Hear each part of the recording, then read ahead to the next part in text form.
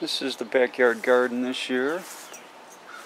Starting with this climbing hydrangea, which really flowered wonderfully this year.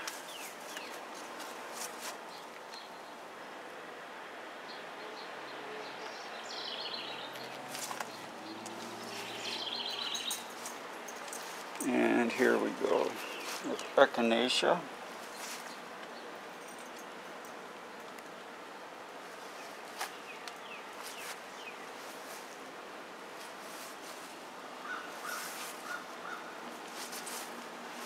I'm not sure if this is goldenrod or aster. I'll have to see in a couple weeks, but from then on I'll know. I think they call it fireworks goldenrod, but it may be an aster too. I'm not great at telling the two apart um, before they flower. Black-eyed Susans just starting, opening up. And some brown-eyed Susans just getting ready to flower. I prefer these to the black-eyed Susans, truthfully. And we have, uh, we had some corn poppies. They come back every year. Not a lot of them, but. And then Shasta daisies.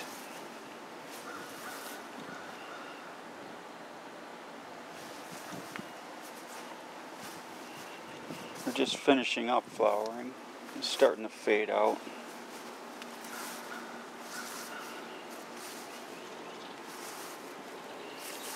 Some more echinacea in here. And I just toss all the seed back where I find them. So all these daisy seeds, I'll just put back in the ground here.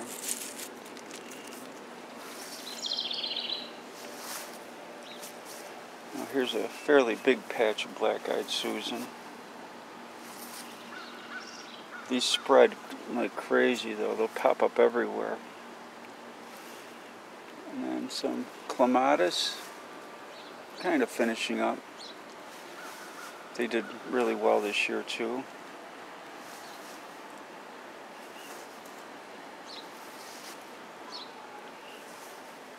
Um, hollyhocks. It's like a little bit of everything here.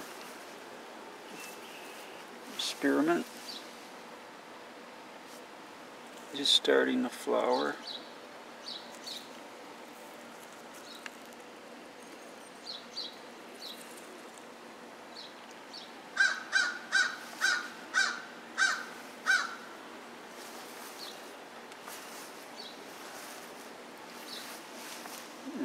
borage, superfood borage. The leaves taste like cucumbers, but they do have like a little, they have fine hairs on them. Which they don't hurt you, but some people might not like the texture. Back here are some delphiniums.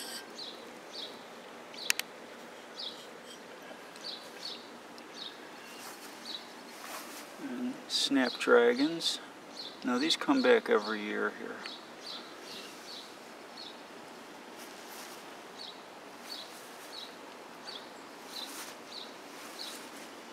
sunflower. We have you know, Grandpa Ott coming up.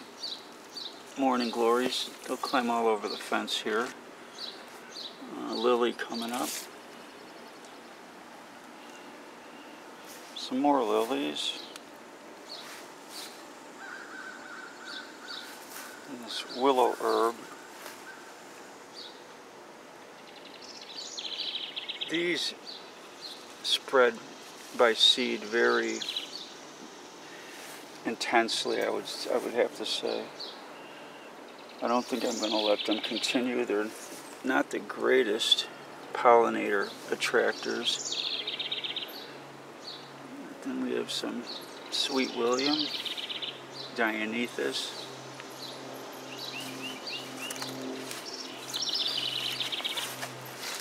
This was Forget-Me-Nots. These bloom early spring, really nice, make the whole garden with this blue hue to it. And then once they die off, I can actually cut this off and it'll come back next year. Some nice daylilies.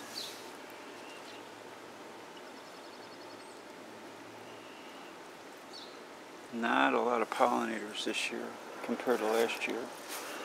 More brown-eyed Susans. More black-eyed Susans. Here's the nemesis this year, the Japanese beetles. I've had, we've had a lot of them. Here are some yellow sulfur cosmos, just starting. Here's some regular cosmos, pink cosmos. More brown-eyed Susans. Some dahlias are just coming up all over the place.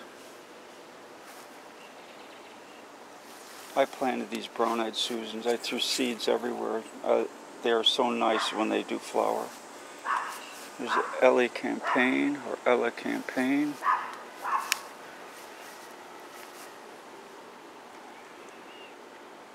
Nice flower. They grow pretty tall.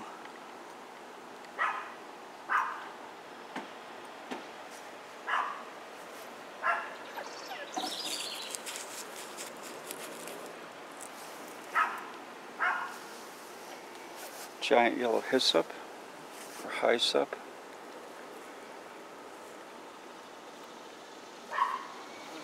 Sunflower. There's a sweet pea right here growing real slow.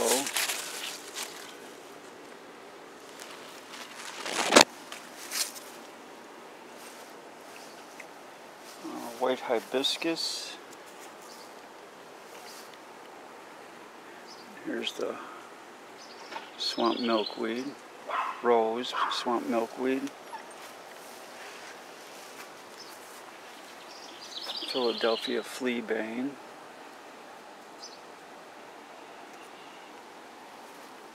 some sunflowers. Cosmos.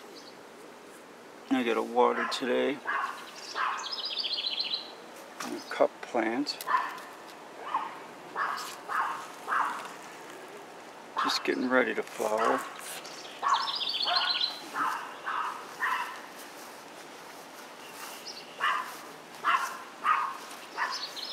This is Canadian milkvetch just starting to flower. Another cut plant. Kenya.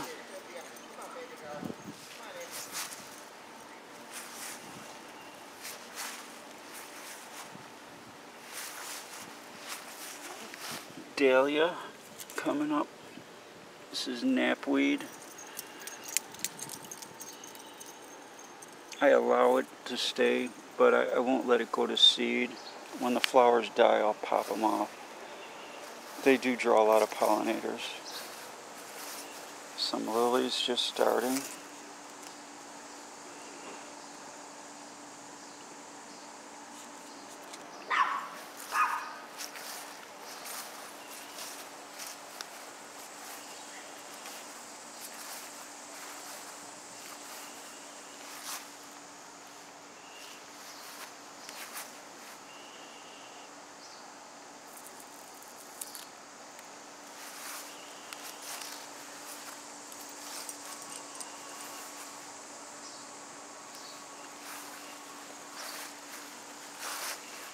This is sheep sorrel.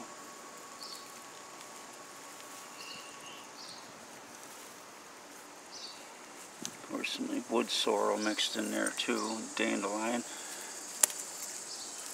Nice dark green dandelions.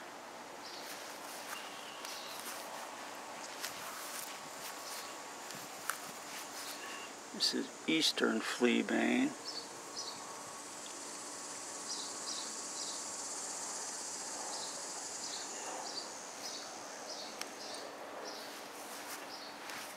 yellow loosestrife that's ended. It's been done flowering, going to seed now. This is Virginia knotweed. It's not doing too good this year. Usually there's a lot more of it here.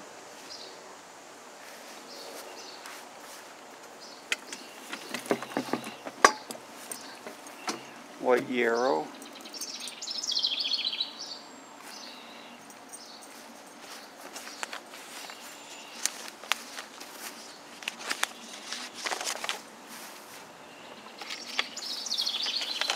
American fox sedge. Let me just pick this up off the ground.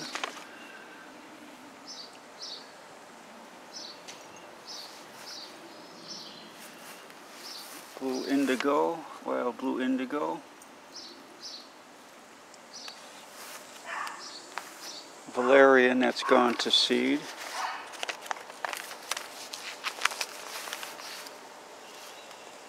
And we got a lot of asters and goldenrod. This year I'm going to learn how to tell them apart when they're just growing. I can tell a Canadian. It's in the back over there. And this mint, they call it pagoda mint. It's got another name and I can't remember it right now. I know it's endangered in New York State. It's not a big patch of it. It's not a real strong smelling mint. It's a mountain mint. This is real strong smelling, like Doublemint gum. I hope it spreads a little more this year. Great blue lobelia, just getting ready to flower. I might as well give a mention to the American nightshade. Always cool little flowers. Just don't eat the berries. It's the seeds inside the berries. And here's your Yopi weed or Joe Pye weed. New England asters. Usually the Japanese beetles destroyed this, but they left it alone this year.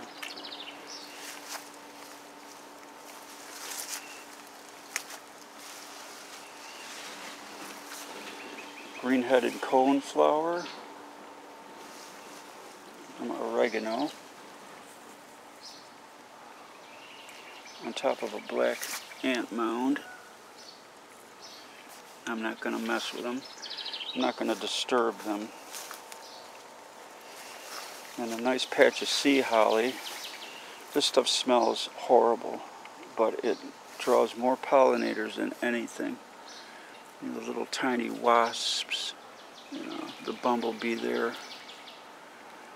couple bumblebees, a lot of these little black wasps. I mean, there's a lot of them here right now.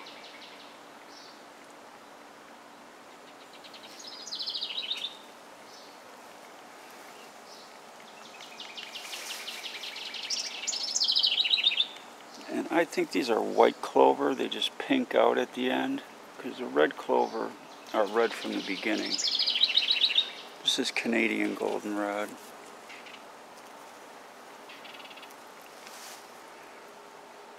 Woodland sunflowers.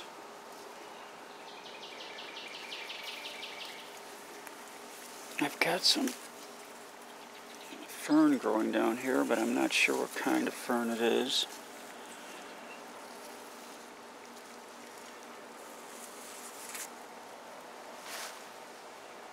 My great Angelica, the Archangel.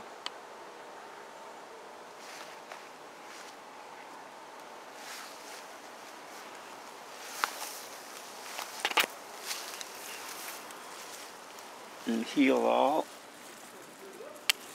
I do use this, that's why I would mention it in the smoothies.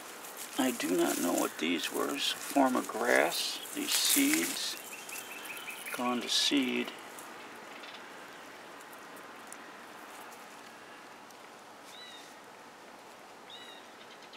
Starting to flower. And I have a big patch of stinging nettle and look at the Japanese beetles on that, man.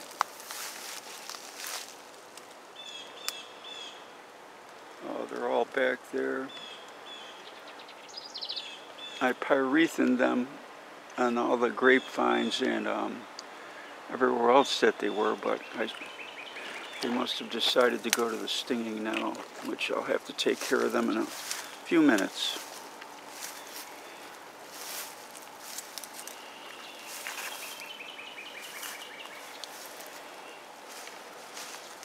Blue vervain. Beautiful, the color, the dark color, dark shade. I would say it's purple, but it's called blue vervain. It gets pretty tall too. Little sea holly sticking its head through.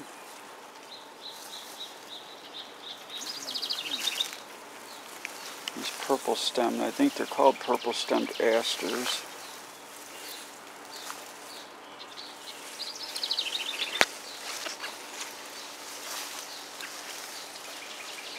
Some white swamp milkweed, this whole patch here.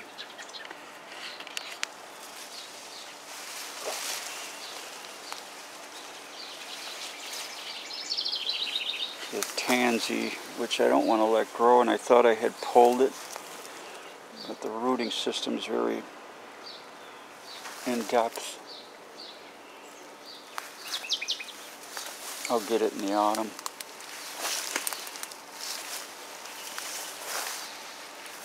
Some burdock.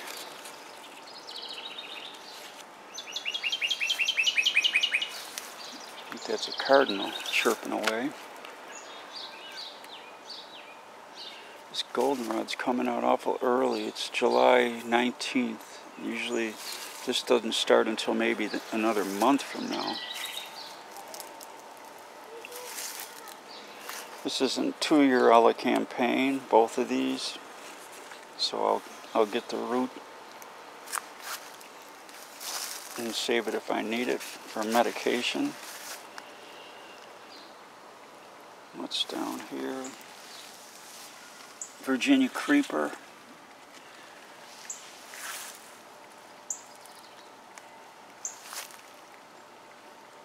More Joe Pye weed. I don't think there's anything different back in this area. You can see through there comes the obedient plants. Got little wasps right inside of the flowers.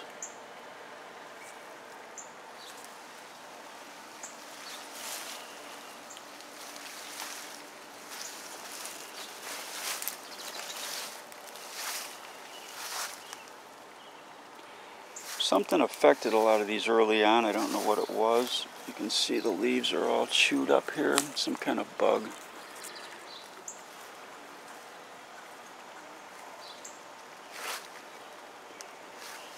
Got some teasel. These are great. If you let them grow real tall, the hummingbirds will start to be attracted to them. I cut the seed heads off when they go to, uh, when the flowering's done. Bull thistle back in here.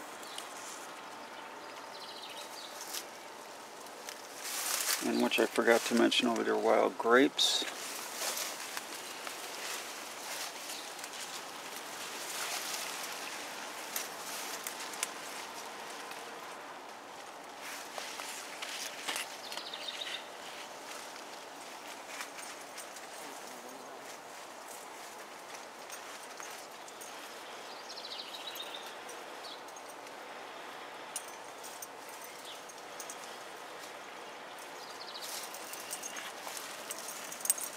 Thought I felt something touch my feet. Peppers back here. Now these are boneset. You can tell by the white flowers and the clasping leaves like that. Asters. Uh-oh. It's discovered us. Our neighbor.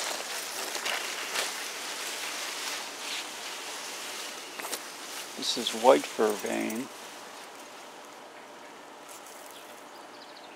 Not a prolific flower, but it's kind of cool to have all these varieties. There's chicory that's starting to go to seed. I know there's some flowering around here somewhere. Another thistle, a couple thistles.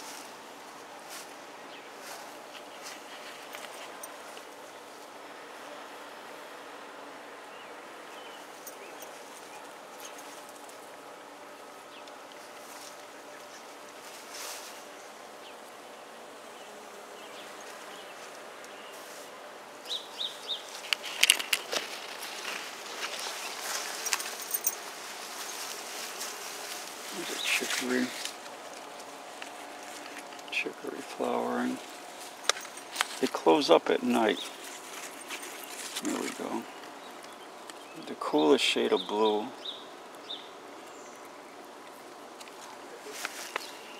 It's Allegheny monkey flower.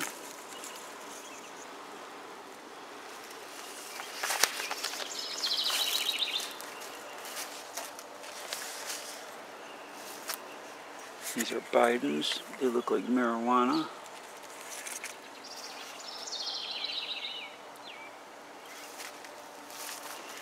Do have Illinois bundle flower here, but it didn't do well. I transplanted it from the front because the deer started eating it out there. This is licorice. It's also something I don't know if will come back next year.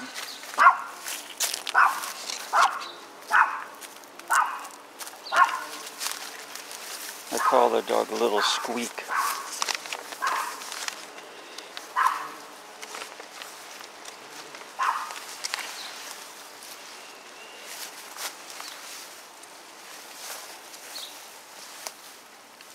These are parsnips that I planted years ago, and um, I didn't control them, and now they're completely out of hand.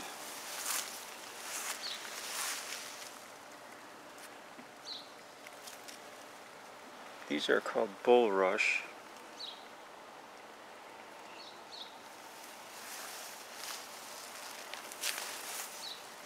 Here's more yarrow. That does get out of hand also.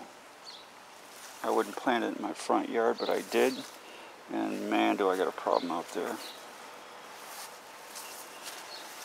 This is red clover. They grow really tall and long when you let them go. Oh, there's also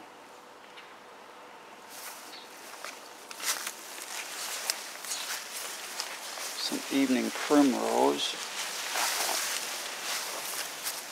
All the beetles have rediscovered it. There's a moth stuck right in there. Get his head right in there. wonder if he's stuck.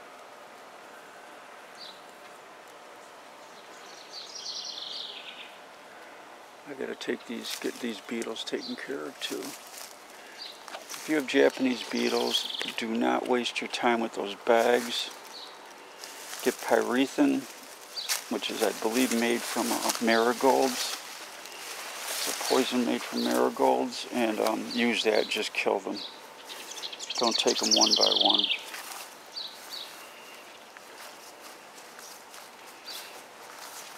Oh, some lupines coming up. Maybe they'll be bigger next year. That's where I planted the wild lupines. I hope that's them. This is where I tried to do some shade plants, which they're not doing so great. I have one Solomon seal came back from last year. Uh, foam flower came back from last year.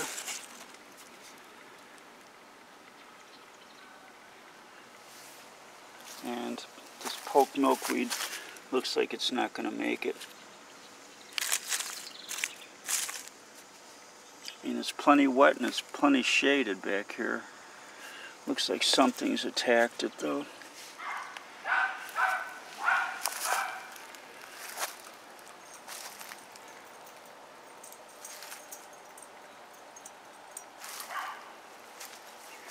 Wild grapes and Virginia creeper, which these beetles really almost destroyed most of it.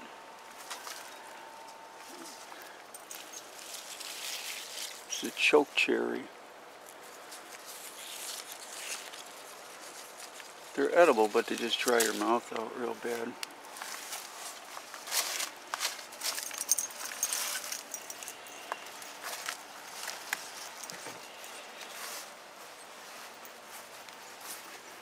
Then we have our wrinkle leaf goldenrod.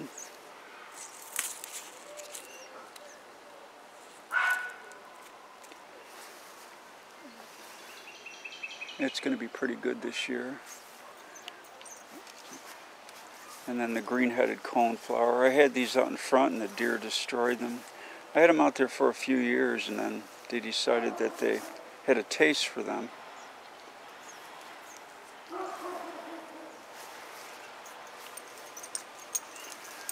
What they really have a taste for is are grapes, these wild grapes. I don't know if they're doing this in the wild, but I sprayed them yesterday. You can see what they did to the leaves. I didn't discover them until too late back here. Hopefully it recovers. I'm going to send it up the tree. As you can see, the tree is already it was an ash tree.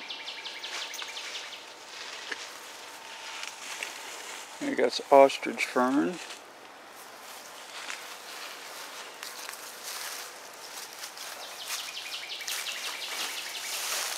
Pachysandra, which I'm not a big fan of. See, the beetles leave the stuff alone that's in the shade, and these grapes were in the shade. For the most part, they like full sun, Japanese beetles do.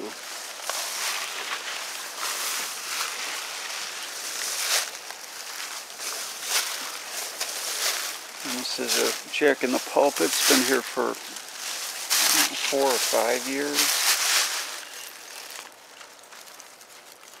See the nice corm on it. There's another one over here, but something knocked all this down. Might have been, it. we had heavy rain.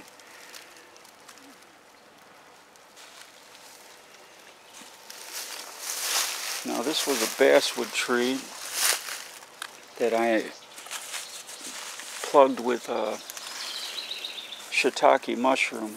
And I don't know if this may be the mycelium finally making its way out. It's been a few years. These look like oysters. I don't know what this tree was. It was gone before we moved in.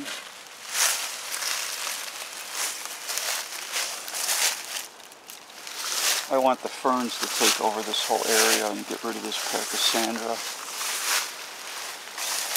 It's been progressively, you know, it's a pain in the butt pulling that Pachysandra out.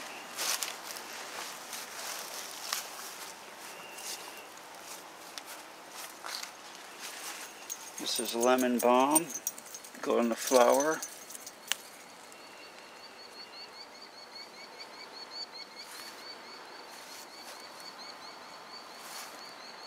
I probably should have put my poke milkweed back here.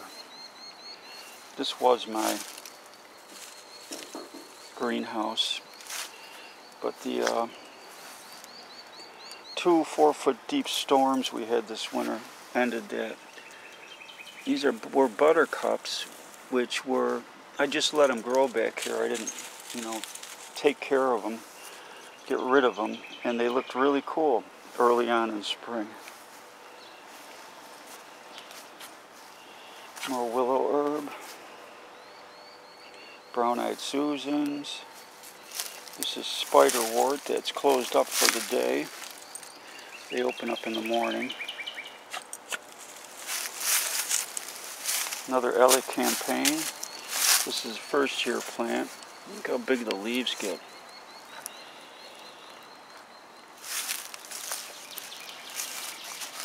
This is all the weeding I've from this gardens I've done this year. This was empty. You can see how deep it is. PVC's for air. I put a layer of grass, a layer of paper, shredded paper or ashes, and then another layer of grass and just keep going. Water it occasionally. These are some nice hostas.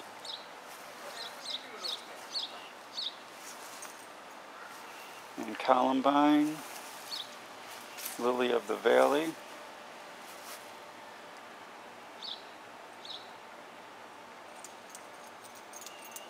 My wife's little garden lady. Oh, this fell. We have another garden lady that stands up right here. Sorry. And she fell on the echinacea. It had to happen last night. Shoot. They'll stand back up, I hope.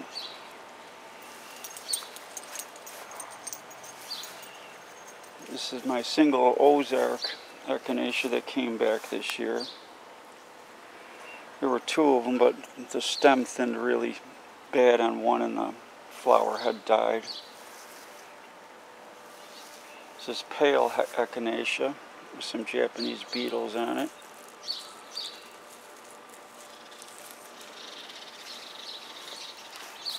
And then columbine around the back. For the most part, it's purple columbine, dark purple. This is all from seed.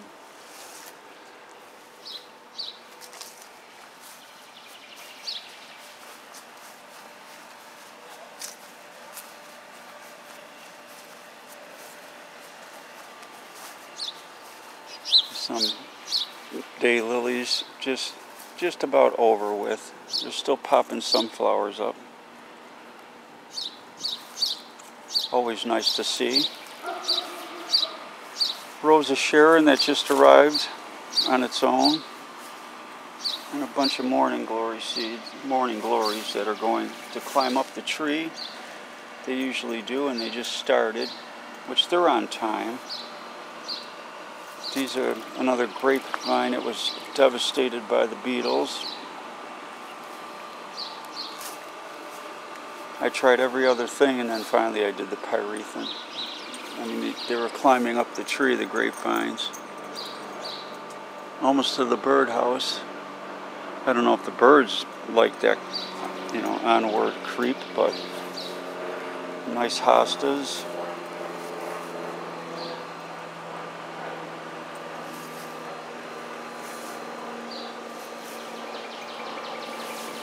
And some delphiniums. There were foxglove here and they got rust disease, so I put some sulfur in the soil and hopefully next year it won't. This is a staghorn sumac to which the beetles also devastated, which I'm going to cut all of this down. I mean, I have a lot of grapes growing, but I like the wild grapes. A lot of people don't, but these are Jerusalem artichokes, which have been burned from neem oil actually. The neem did that. Because I tried that first and it did not work this year. See how they put their leg up when they feel threatened? And what they do is they roll when you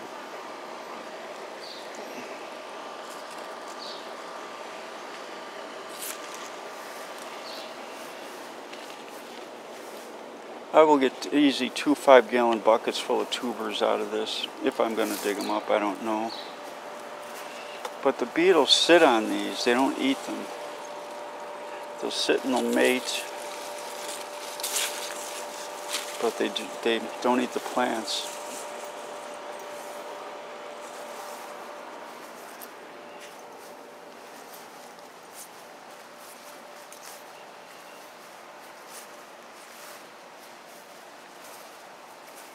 and wild bee balm.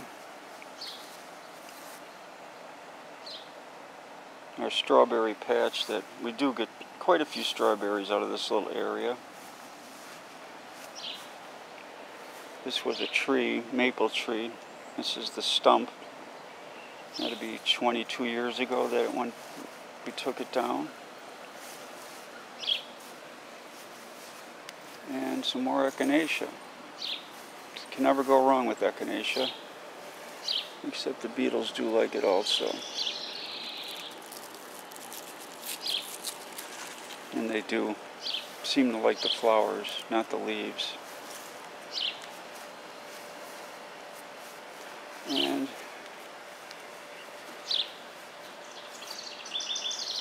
that's the backyard garden. I have a vegetable garden. It's not doing great this year, but I, I tend to like to showcase the flowers. Thank you.